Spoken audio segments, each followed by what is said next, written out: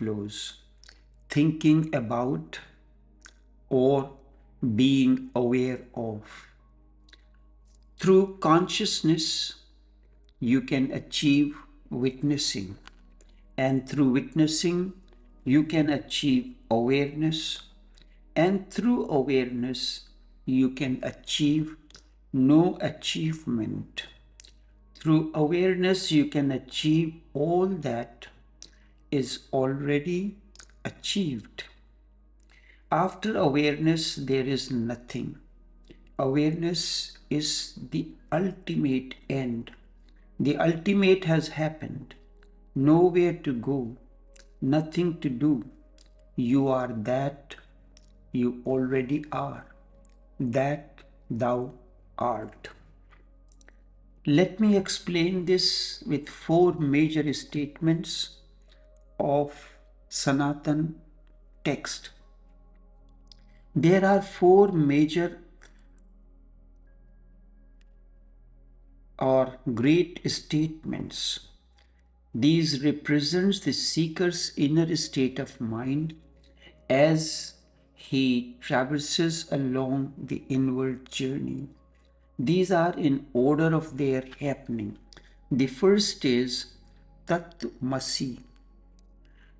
The master explains his disciple, you are that you are.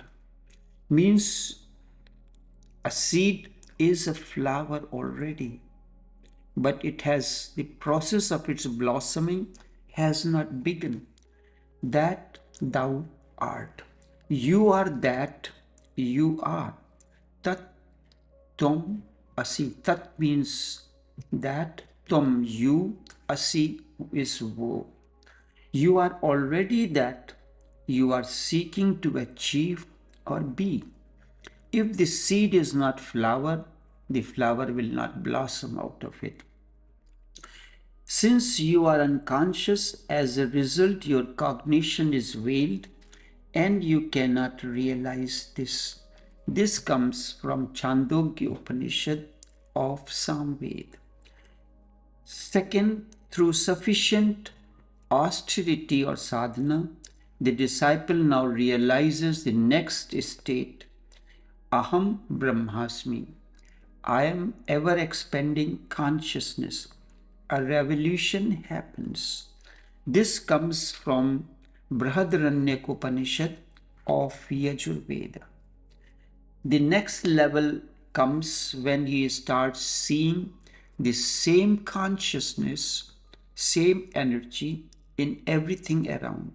This is Prajnanam Brahma, an all pervading consciousness or oneness. This comes from Aitareya Upanishad of Rig Veda. The last is this is followed by the next level when he is established in saying that yes, it is not only me, everything around is Brahman or consciousness or energy.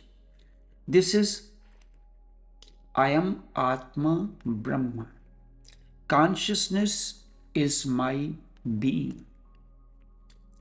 This is the state of dissolution in existence, cosmic oneness. This is the state of enlightenment. It comes from Mandukya Upanishad of Atharva Veda.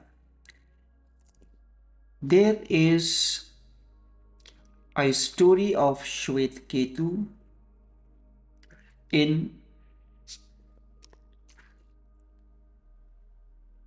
There is a story of Shwet Ketu, who is an ardent seeker who and who appears in three principal Upanishads, namely Brihadaranyaka Upanishad, Chandogya Upanishad, and Kausitaki.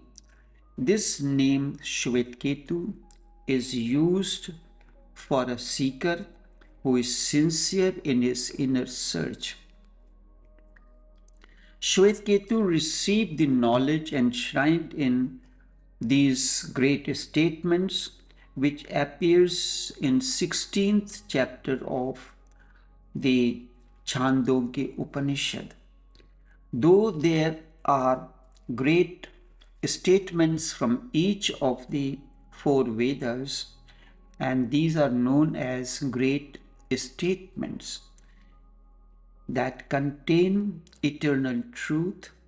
There are other statements as well, which are also equally important. Ekam Edvidam Brahma means Brahma or consciousness is one without a second. Everything evolves from the supreme Brahma or consciousness. The seed is one, the supreme seed. This comes from Chandogya Upanishad. Next comes in Soham, I am that. This comes Ishopanishad, Soham. This is used as a mantra. It uses three parts. First, a person is saddened, disturbed by his inner state.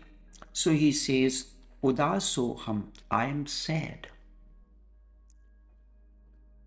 Udasoham, I am sad, I am disturbed, I am I lack harmony.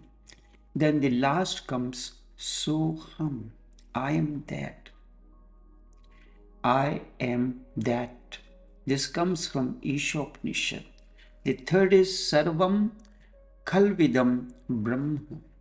All of this is Brahman, ever expanding consciousness. This also comes from Chandogya Upanishad. These are also great statements, but four are considered as a major, and these are secondary statements. Sarv, sarvam Khalvidam Brahma. All of this is ever expanding consciousness. The last is Etad Vai Tat. This verily is that. This verily is that. I see you, you are that. There is a power within that knows beyond our knowings. We are not aliens as strangers join. We are bound to each other by a causeless force, the ever expanding consciousness. We, each one of us, carry the same spark. Each flower, the seed, the flower seed, carries that potentiality to grow and blossom into flower. But chrysanthemum will blossom as chrysanthemum. Marigold will blossom as marigold. Buddha, the seed of awakening in Buddha, verily is that seed, that potentiality, that potentiality to flower. But Buddha will not flower as Mahavir, he will flower as Buddha. Mahavir will flower as Mahavir you will flower as you because you are a unique seed. And flowering is your potentiality. Flowering is the potentiality of each and every one of you. It all depends when does your process begins and how astute you are in the process of your uh, blossoming, how much effort you put into on a day to day basis because the seed, the process of the blossoming of the seed is a continuous process the moment it is planted in the soil. The moment your seed, you are conceived, your process begins, but in a mysterious way through different stages of which at times you are not aware. And as such as you know, the process begins after you are born. But even at that stage, you are not aware because the cognition is not yet developed in you. As the age advances, you go into the process, you begin to understand. Consciously, you start the process, but there remains a danger. The danger is can happen and happens to most of us because of egocentric identities and ego sins. Because of that, your process does not get an impetus. You are lost in your own ego because of your own egocentric identities into ego trip. When something is mentioned to you, you react, you reject that because as such, if the seed rejects what the gardener tries to do to it in the form of mulching of the soil, in the form of providing the fertilizer and all that. But if the seed is denies to absorb the fertilizer that is given to it, the process will be hampered. And this is what happens.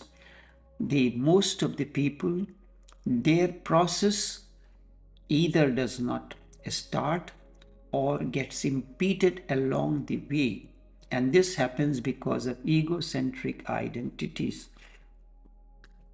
One who is initiated into sannyas sannyas means the process of the inward journey has begun now.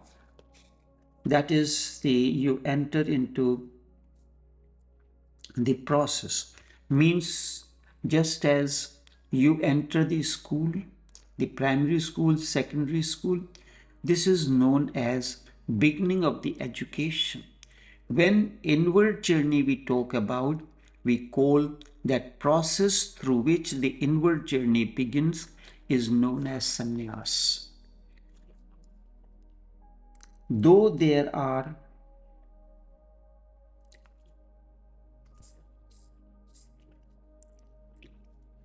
one who is initiated into sannyas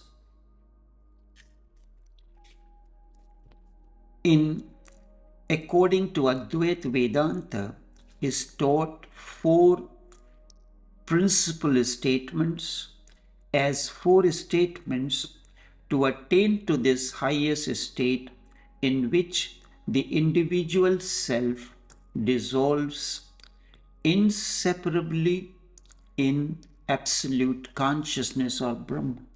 According to Advait tradition, the four Upanishadic statements indicate the real identity of the individual, the individual soul as truth, existence and Brahman the consciousness. According to Vedant tradition, the subject matter and the essence of all Upanishad remains the same because each time, each Upanishad, the sage is speaking to a different set of students. And because of their level of understanding, the difference appears to be. In Sanskrit uses these the term great statements came to be known as discourse or statements and specifically discourse on the philosophy of lofty topics relating to different aspects. Oh, thus, the awareness that comes this way is the end of spiritual progress. Unawareness is the beginning. Enough for now.